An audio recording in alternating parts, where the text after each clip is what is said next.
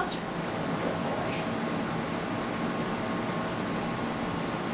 Okay, that's good. You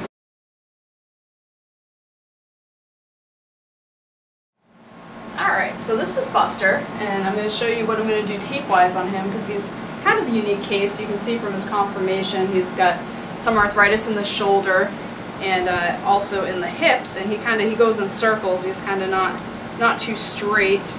So we're going to put a little bit of tape on him and see how it helps him with his conformation. So I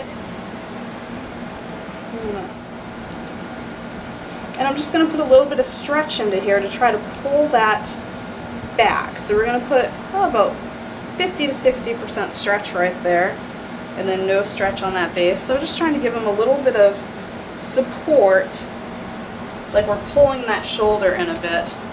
And then I'm going to go to the opposite side. I'm going to try to go on this hip.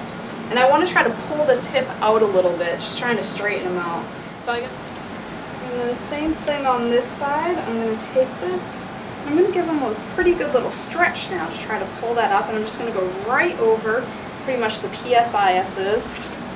And then just go right down with paper off on the end of that to try to pull that hip out a little bit. So we got that just like that. And then I'm just going to kind of watch him stand and see if he looks like he's got a little bit more stability with that. What do you think, Buster?